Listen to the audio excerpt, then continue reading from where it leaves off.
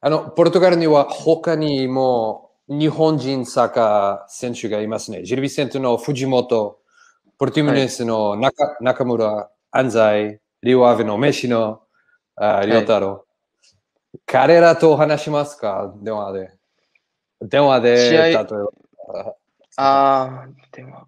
えっと、話しますあ試合が終わ終わったら話しますけど、うん、普段連絡は取らないです。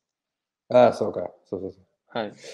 そして、ポルトガルのサッカーについてどう思いますか？あの、日本のサッカーと比べて、それはより早いですか？タクチックですか？ど、ど違います？ポルトガルのサッカー。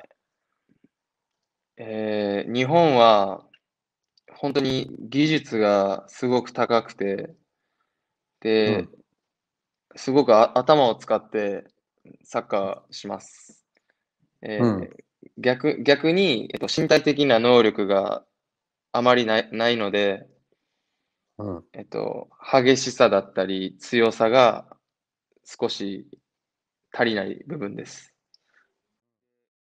ポルトガルは激しいし、強いし、速いっていう、うん、身体的な能力の、がた、はい、すごくある選手ばかりなんで、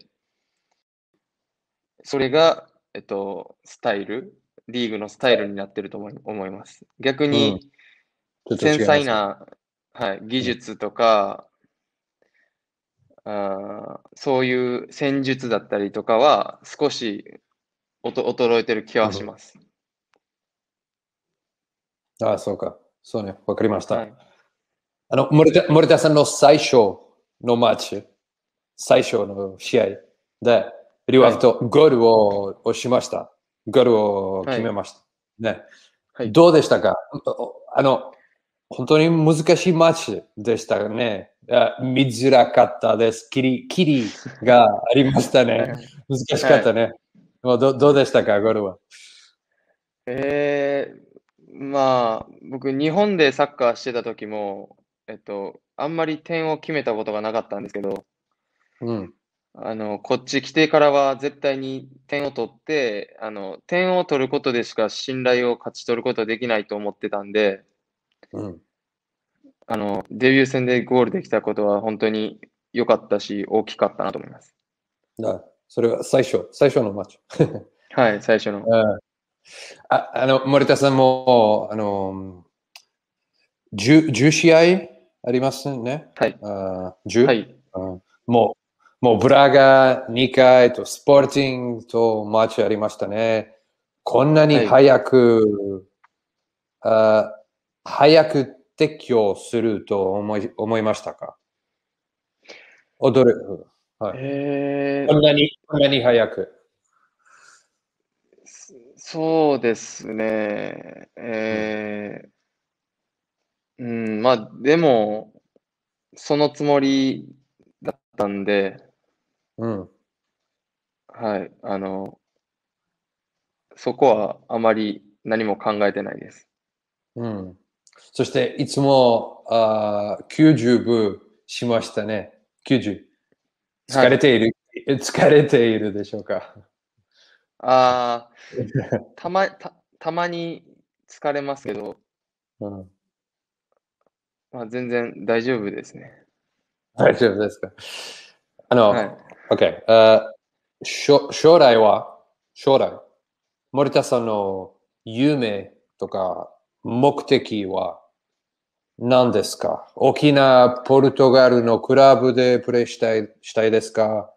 一番、あの、ほとのリーグにしたいですか？一番好きなリーグがありますか、うん、だから、えー、将来将来は夢は何ですか、うん、一番自分の好きなリーグがスペインなんで。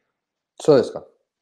はい、うん、スペインでサッカーしたいです。えっ、ー、と、ポルトガルからスペインに行くことは難しいと思うんですけど、そうか。はい。それは、近くに。あとは、近いですね。国はすごく近いんですけどね。はい。あとは、でちょっと日本、うん、日本代表でワールドカップに出て、うん、ベスト8ベスト8に行きたいですね。うん、そうそうそう。そして、あのー、そろそろ終わります。えでも、森田さんも日本チーム、日本代表、はい、にいましたね。3回でしたね。はい、と思います。3回？はい。あの、はい、そうそうそう。どどうでしたか？それ？そして、また行きます？もう一回と思いますか？あの、もちろん、行きたい、ね。だよね。もう一回。そうですね。えっと、うん、ま、代表の活動っていうのは、あの、本当に、うん、まあ、すごく誰も誰もが目標として、えっと、サッカーしてきた部分なので、誰も代表にはぜ、はい、絶対に選ばれて、そこでずっと活躍し続けることが大事かなと思います。そうそうそう。わ、うん、かりました。あの、はい、終わりましょうか？はい。はい。はい。あの、お疲れ様でした。お疲れ様でした。本当にありがとうございました。いや、ありがとうございました。そして、うまいですよ。ああ、いえ、ありがとう。そして、ポルトガルで頑張ってください。ありがとうございます。ありがとうございます。